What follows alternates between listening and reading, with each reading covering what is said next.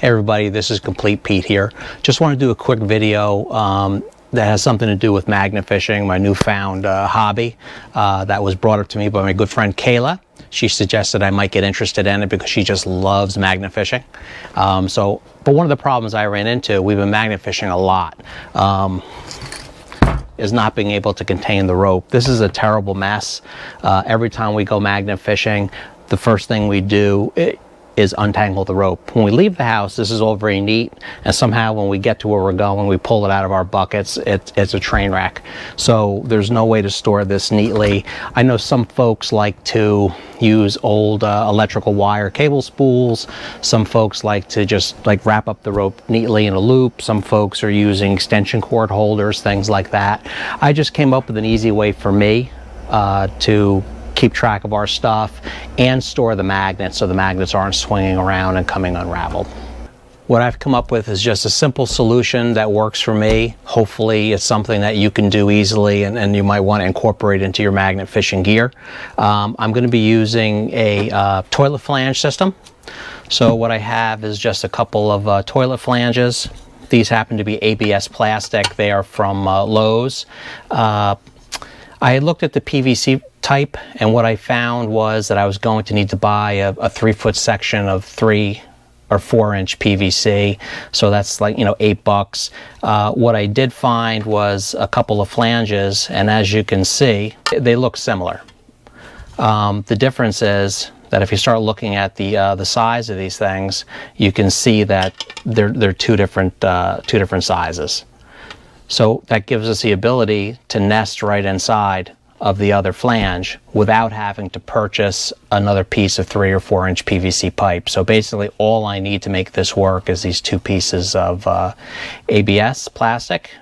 Um, anybody who's put any kind of PVC or ABS fittings together for a, a test fit knows that sometimes they're very hard to get back apart again. So once you press this apart and give it a little twist, it's actually quite quite difficult to pull apart.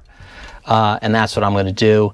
The other feature I'm going to add to this is, uh, you know, as as we uh, wrap our our line around this, and I have, you know, I think 66 feet of line. Uh, it fits with the room, so you can easily get 100 feet of line on this on this reel. It's very lightweight, very strong. But I also want to store my magnet uh, inside. So this is an 1100 pound uh, magnet. I use it in this configuration uh, because most of my magnet fishing is, uh, you know, off a kayak. If I was going to go, you know, off a, uh, a bridge or something, I might move my, uh, my shackle eye, you know, up to this position so I could drop the magnet straight down. Um, as I said, most of the time I use in this configuration and what I want to do is I want to wrap my line around this spool and I want to store my magnet inside the spool. Um, one of the things that happens is we use plastic buckets. If we find anything, uh, it's in the bucket, you drop your rope and your magnet inside the bucket, then suddenly everything's stuck to the magnet. So it's just a big mess. So I'm just going to throw this thing together and just give you an idea of, of uh, how I'm going to make this work. As I'd mentioned, I plan to store my magnet in this end, so I want to put something in there magnetic that the magnet will be able to stick to. So I'm simply going to drill a 5 16 hole, which is what this carriage bolt is, right through the hub of this uh, toilet flange and I'm going to put a bolt on the inside and that's what I'm going to use just to hold my magnet in place. Um, you'll be able to see that this is a carriage bolt um, and as all carriage bolts, this one in particular is 5 16 but you're going to see this the square head underneath and you can see it's kind of sharp. So once you drill the 5 16 uh, hole through the PVC or the ABS, when you drive your nut on there, the nut will actually pull the square through the plastic and it it'll uh, it'll hold the head while you put the nut on so you don't have to like try to get a wrench or anything on there. Nothing too complex. I'm just going to eyeball this. Actually, I'm going to stick my I'm going to stick my uh, bolt on there just so I can kind of eyeball where this thing has to go.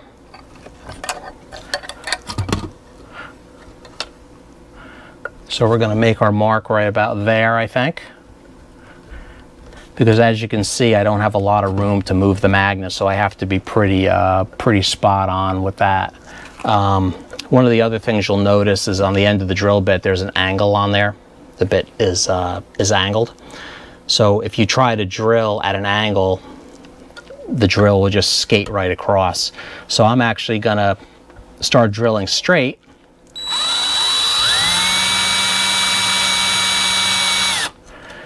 And then once I've got that started, then I'm going to turn my bit and go through.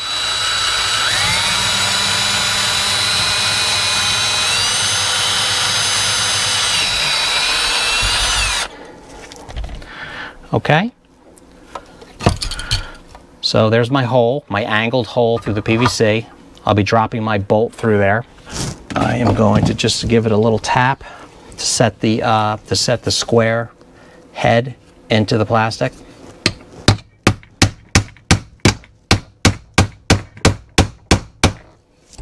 So now that's sort that's sort that's locked in there and it won't turn. I'm going to install a lock nut on the end.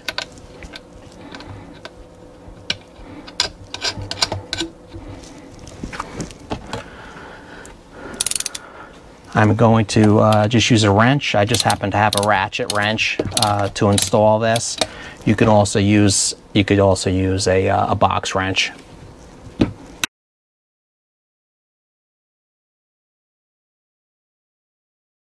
And this is just a long bolt. And one of the problems is that this is a nylock nut, so I'm actually forced to uh, tighten it up against the plastic washer that's built into it. Uh, the other thing I want to do is use a touch of glue to hold this together. I'm just going to use a regular uh, multi-purpose uh, ABS PVC cement and uh, just a little bit will do. Scrape most of it off of there. Take a little bit around the outside.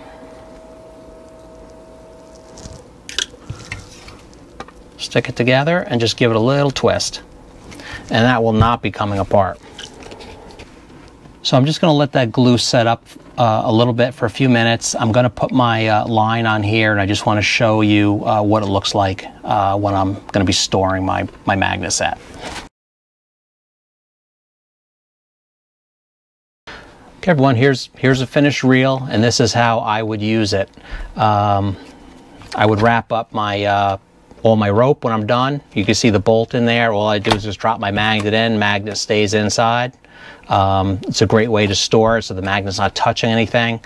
Uh, you can see I, I use a little uh, rope management with my carabiner clip. You might notice uh, the float on the end. Um, I'll probably throw a couple of clips in of me actually using the magnet. Uh, I use it most of the time from my kayak. Uh, and what I do is I will take the carabiner, I go right through the side handle of the, ki uh, the kayak, and I have this float. I haven't had to use it yet, but I would imagine if I got really stuck on a rock uh, or I got caught in current and I had to disconnect, all I do is take my carabiner off the side handle of my kayak and I could just drop it overboard and it'll float and I'll be able to go right back with uh, with some help and, and find it and get myself uh, unhooked off the rock. So you can see how this really will keep everything uh, very neat and organized. It's easy to drop this in your bucket. Uh, the magnets out of the way. Um, you don't have to use the float. Like I said, that's a that's kind of a kayak magnet fishing thing. Though for some of you that uh, are just fishing off of uh, docks and things like that, if you get your magnet stuck and you have to come back, if you don't want to go swimming for it or you want to have a chance to, to find it or, or get a boat or a canoe out there, you can just, you know, take a chance and at least you might be able to find it with the float. It's like three bucks. And I'll put some links down below for the float and the two parts uh, for the two toilet flanges that nest inside of each other. So this is my kayak fishing rig, but you could certainly use this for anything. It'll drop in a bucket. Um, and as I mentioned, this, this one is specific for the way I kayak fish um, because you can see how I have the shackle oriented. Um, I do have a second rig um, for uh, magnet fishing. It's the same same sort of thing. Uh, same carabiner. You see I use the carabiner. I still have the same float on there. This one in particular is uh, the magnet's reconfigured to something maybe you're familiar with. This is, you know, for fishing off of docks and things like that. Same bolt down inside, and all I do when I'm done is just put it through the notch, the rope, drop the magnet down inside, and I have a very compact fishing rig that I could drop in a five gallon bucket and the magnet won't get stuck to everything. You can also carry it by the carabiner if you want. Um, it's just a really nice, inexpensive way to keep your rope and everything organized, especially when you're fishing off a kayak. If any of my friends out there are, are kayak fishing um, or uh, magnet fishing out of their kayak, rope management is very important. You start getting rope uh, tangled around your legs and arms and things. If you flip that boat, uh, always plan for the swim. Uh, it's unlikely that you're going to be ready with a pocket knife or anything that'll cut this rope uh, to get yourself untangled. So um, that's why the, the management is so important to me. And I just figured this might be worthwhile just sharing with some of my magnet fishing friends that uh, may fish from a kayak or just want to be better organized for the regular, uh, regular magnet fishing. Thanks a lot. I will catch you on the next video.